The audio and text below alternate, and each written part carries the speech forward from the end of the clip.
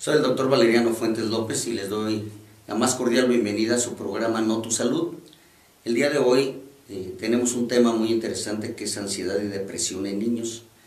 Eh, es un tema de salud pública eh, mental sobre todo, donde a lo mejor la gente piensa que es un problema de adultos, donde pues se van a dar cuenta que, que a los niños también los afecta y me da mucho gusto presentarles a la, doctora María Guadalupe Chávez González.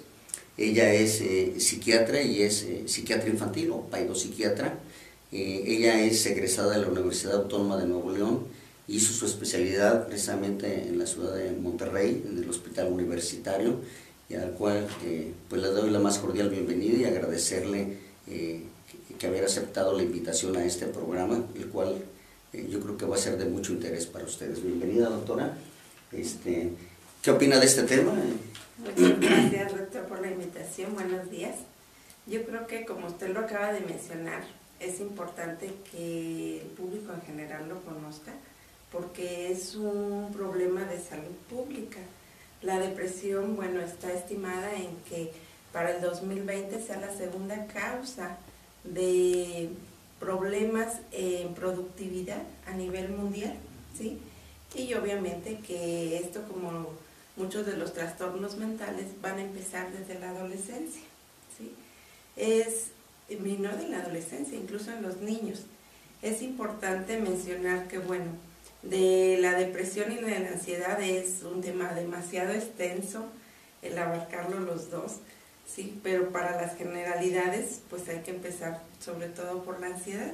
¿Por qué? Porque es más frecuente en niños y es más frecuente en etapas mucho más tempranas.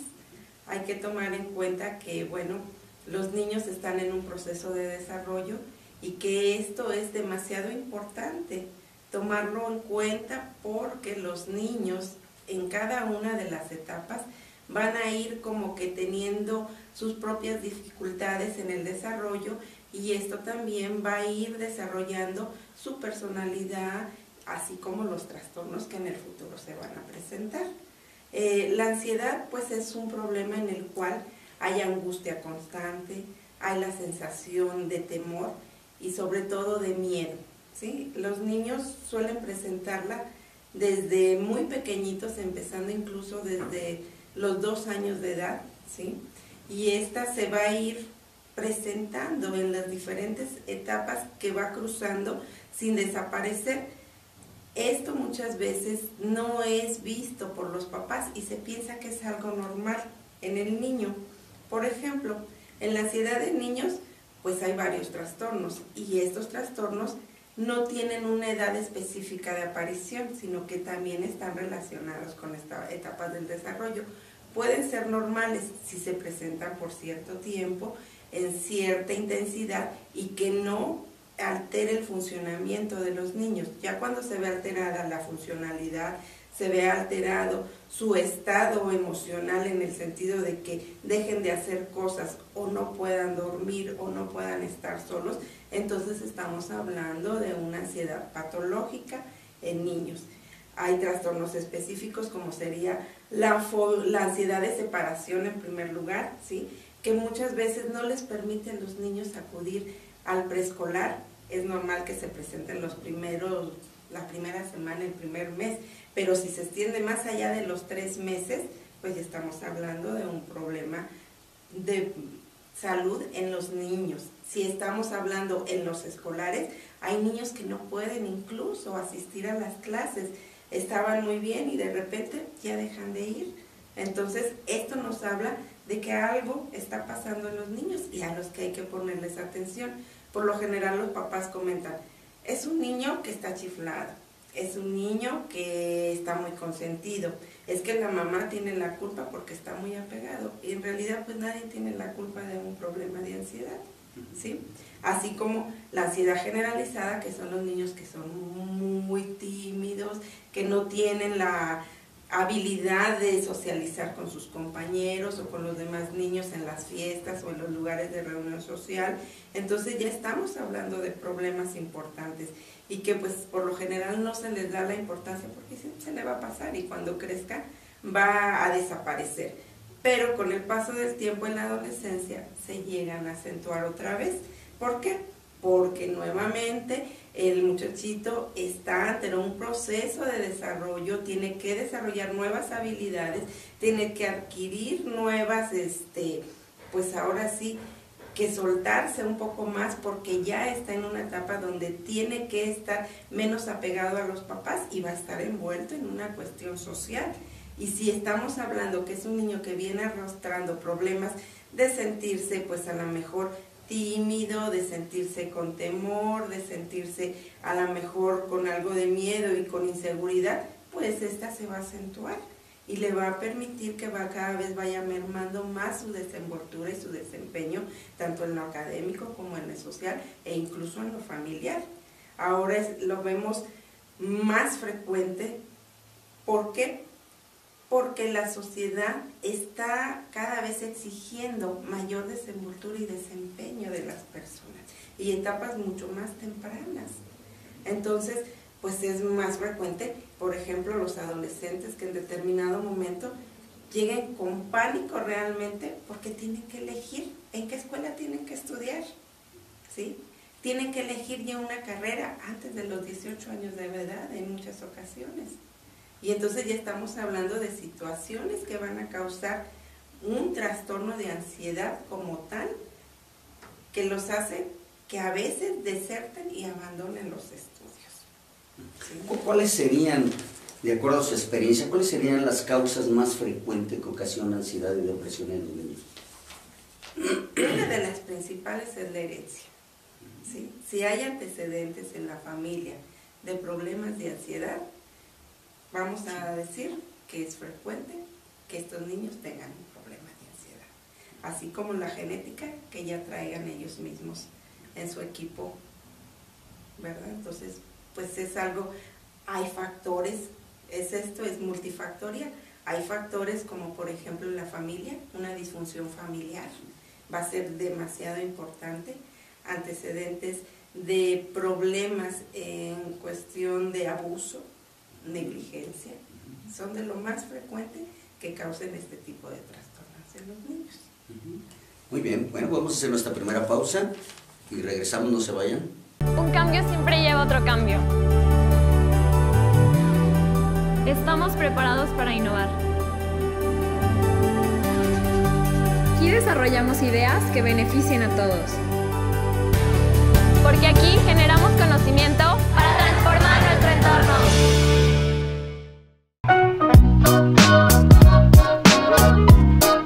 Mamá, me duele la panza, llévame con el doctor Valeriano. Vamos de inmediato con el doctor, hijo, no te preocupes. Doctor Valeriano Fuentes López, médico pediatra, Conjunto Florida, noveno piso.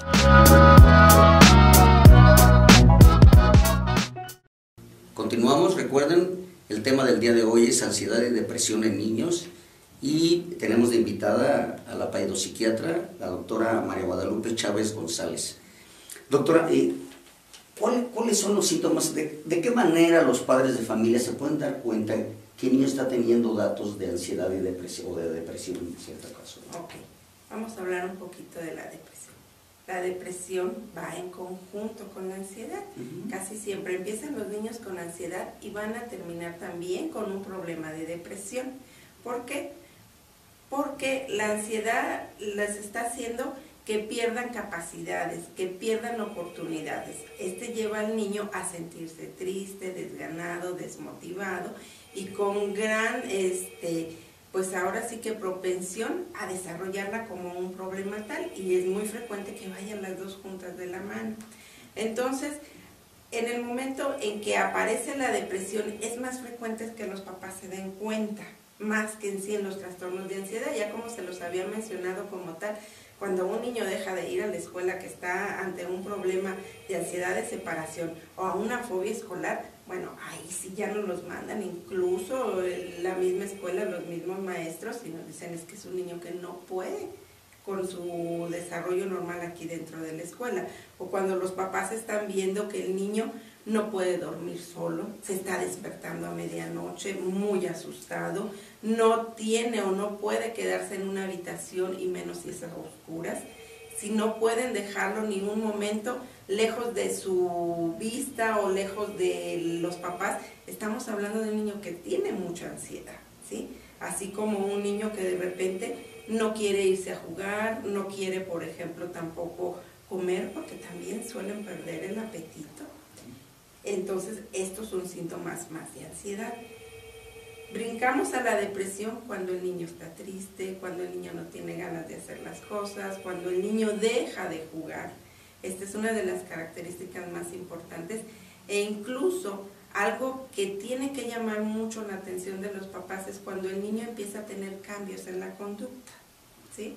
Y de ser un niño tranquilo, a lo mejor un niño juguetón, un niño alegre, de repente es más aislado, es menos social, es un niño con mucha irritabilidad. Esta es una de las características de ambos, que el niño se vuelve muy irritable, muy enojón, no quiere hablar con nadie y no quiere jugar con nadie. Empiezan a pelear con sus compañeros, con sus hermanitos y empiezan a estar más aislados y más solitos es muy frecuente que los niños se refugien ahorita en estos tiempos en los juegos de video.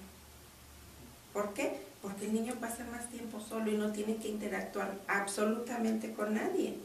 Entonces muchas veces pasa desapercibido porque dicen, pues está jugando, está en el celular, está bien, está con su tablet. Pues sí, pero ese niño no te está diciendo que se siente mal, no es un niño que te dice que está triste, es un niño que no te dice que tiene problemas en la escuela, que no se adapta con sus compañeros, ¿sí? que a lo mejor empieza a bajar su rendimiento académico. Esa es otra de las grandes características en los niños con depresión. ¿Qué otros síntomas orgánicos pudiera tener un niño?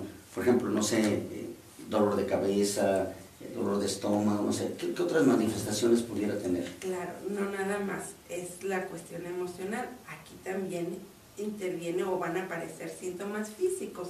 ¿Por qué? Porque estamos hablando de dos entidades que tienen componente biológico también, ¿sí? Y dentro del componente biológico estamos hablando de depresión de sustancias cerebrales que causan el bienestar y la sensación de alegría como sería la serotonina. Entonces el niño cuando tiene ansiedad va a manifestar dolor de cabeza, muy frecuente que diga que le duele el estómago, que le duele el abdomen, que empieza a sudar, ¿sí? O que empieza a temblar. Este es un niño que tiene ansiedad a comerse las uñas. Es bien, bien frecuente. Un niño con depresión tiene aparte de estos síntomas que puede ser el dolor de cabeza, que puede ser el dolor de estómago, va a manifestar también pérdida del apetito, va a perder el sueño, es un niño que no puede dormir o que pasa demasiado tiempo dormido. En los adolescentes es más frecuente que lejos de que se les quite el sueño, estén mucho más tiempo dormidos y se la pasen sin querer comer, que no este, tengan también algunos síntomas como son el sentir pesantez en su cabeza, ¿sí? decir que se sienten como si estuvieran muy, como una tabla, dice, no, me duele aquí, es común que digan los niños que les duelen los hombros, y también pueden aparecer en determinados momentos síntomas ya más raros, como que empiecen a decir es que me siento como que no soy yo, como si fuera otra persona. ¿sí? Entonces, hay que estar muy atento a un niño que no quiere comer, que se empieza a aislar, que tiene dolores en diferentes partes del cuerpo. Es muy importante, antes de diagnosticar una depresión o una ansiedad, poder descartar cualquier enfermedad que se pueda presentar. Es importante hacerles un chequeo general, mandarles a hacer sus exámenes de laboratorio porque estamos hablando de niños que están en desarrollo y crecimiento y hay que ver que estén bien en cuanto a su peso, a su talla, que no vayan a traer alguna anemia o algún problema de salud agregado, que puede dar muchos de estos síntomas. Y muchas veces se va uno hacia un lado, es que es emocional. No, también puede ser algo físico y también hay que descartar. tratarlo primero. ¿sí? Muy bien, bueno, hacemos nuestra segunda pausa y regresamos. Mamá, me duele la panza, llévame con el doctor Valeriano. Vamos de inmediato con el doctor, hijo, no te preocupes. Doctor Valeriano Fuentes López, médico pediatra, Conjunto Florida, noveno piso. Un cambio siempre lleva otro cambio. Estamos preparados para innovar. Aquí desarrollamos ideas que beneficien a todos. Porque aquí generamos conocimiento para transformar nuestro entorno. Continuamos. Eh, ya habló que la causa de la ansiedad y la depresión eh, es multifactorial, intervienen este, pues, varios factores. Eh, ¿Cómo, de qué manera usted diagnostica cuál es la causa que ocasiona ese tipo de problema? Muy bien. Estos problemas pueden ser primarios, pueden ser secundarios y muchas veces hay una asociación de ambos. Si no hay ningún factor que esté alterando la vida del niño, una familia que esté bien, que esté en una escuela adecuada, que no haya ningún problema en relación de acoso, de abuso, que no haya ningún problema asociado a esto, estamos hablando de que lo que tenemos que buscar es la cuestión a lo mejor genética y hereditaria. Y puede haber muchos factores de antecedentes en la misma familia, por ejemplo, para la depresión, así como para la ansiedad, que el papá, el tío, el abuelo o alguien tenga este tipo de problemas. Entonces, hay que ver que este niño puede traer ya en su equipo genético pues este gen, ¿sí? Y que puede ser que no haya ninguna otra. ¿Cómo se diagnostica aparte? Son a través de las entrevistas, ¿sí? Se entrevista a los papás, a ambos papás, para saber los antecedentes y también cuál es la visión y cuál es la relación que tienen con el niño o con el adolescente. Se puede incluso mandar llamar muchas veces a los abuelos y a hablar con ellos porque muchas veces son quienes se encargan de cuidar a los niños o a los adolescentes. Se entrevista al niño a través del juego. Si ya es una del adolescente, se hace una entrevista ya dirigida hacia ellos para preguntar específicamente si se siente triste, si hay desesperanza, si se siente mal, si se ha perdido el apetito, si ha perdido el deseo por vivir, si ha perdido la capacidad de concentrarse, de poner atención y si ha bajado en su rendimiento académico. Se le pregunta si es un niño más chiquito, cuáles son los temores que tiene, si se puede quedar solito, si no, si se despierta durante las noches, si tiene bastante miedo, qué es lo que le está provocando el que se coma sus uñas o en que en determinado momento no pueda o no quiera acudir a la escuela, ¿sí? Pero es a través de la entrevista con ellos y con los síntomas específicos. Una vez que se descarta la cuestión física, que no haya ninguna enfermedad de base, una vez que se ve también cómo está la dinámica familiar, cómo está la dinámica en la escuela y cómo está su contexto social, vamos a ver cuáles podrían ser los factores que estuvieran influyendo en esto. Siempre es muy importante preguntarles a los niños y a los adolescentes, ya cuando se ve que tienen una depresión, si traen alguna ideación en relación a la muerte o un franco este, síntoma de suicidio. ¿sí? Eso es muy importante y que se debe de checar y que muchas veces los papás e incluso los maestros no le toman importancia porque se cree que es una moda, ¿sí? Y que los muchachos, sobre todo los adolescentes, están yéndose a ese lado por cuestiones de internet, por cuestiones, sí es cierto, eso influye demasiado, pero tiene que haber de base algo que esté llamando a los niños o hacia, a los adolescentes hacia esas cosas y los esté jalando su atención a decir yo me quiero morir, es mira que qué bonita es la muerte, mira qué bonito es esta cultura, pero es porque traen algo y eso debe de llamarnos ya la atención de antemano y sobre todo a los papás. Ahora también tienen que poner mucha atención en los niños, en los adolescentes que se empiezan a cortar, que empiezan a morderse o que se ponen demasiado agresivos, porque algo traen en cuestión de ansiedad, que es por lo general con lo que empieza, y que dicen es que es una manera de sentir alivio y de sentir que esto ya no me esté molestando. ¿Requiere algún estudio en especial este tipo de niños? Estudio en sí, no. Es más clínico el diagnóstico. Por eso es importantísimo que los vea un especialista que sepa detectar hacia dónde va la problemática y que ya haya descartado los problemas biológicos. ¿sí? Que en determinado momento, si trae problemas de conducta el niño, sí se tiene que descartar un TDAH, por ejemplo, porque es bien frecuente, pero aparte, pueden tener el déficit de atención e hiperactividad y aparte estar deprimidos y empeorar todavía más la conducta, ¿sí?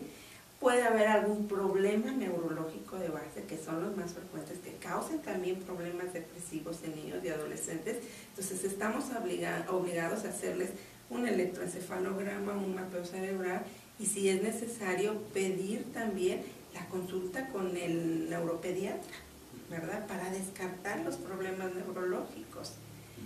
Pero en sí, algo, un examen específico que nos vaya a decir que este niño tiene depresión o ansiedad, Ok, acerca del tratamiento, eh, porque todos los síntomas que usted refiere de ansiedad o de depresión, pues muchas veces los vemos en los niños de todos los días.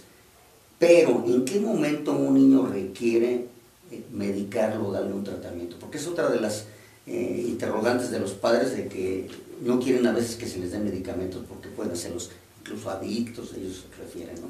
¿En qué momento hay que darle medicamento a los niños? Cuando dejan de ser funcionales para la edad y para el tipo de actividades que tienen que hacer, estamos diciendo que es un problema importante.